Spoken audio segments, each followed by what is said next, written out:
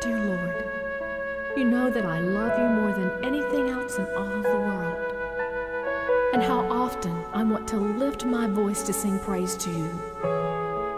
But so many times the busyness of my life makes you seem so far away.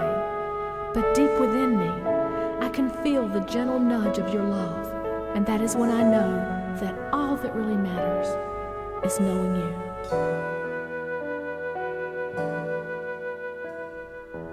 Just the time I feel that I've been caught in the mire.